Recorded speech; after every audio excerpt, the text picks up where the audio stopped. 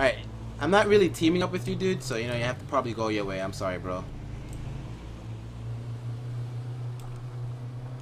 I think he's following me, so whenever I get out, or whenever he gets a chance, he's gonna try to kill me. This guy up here. Whoa! Holy shit!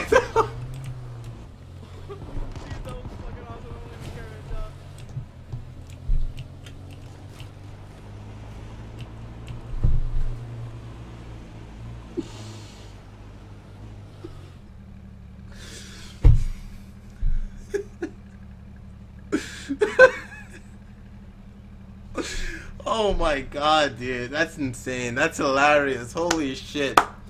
Woo! 10 out of 10.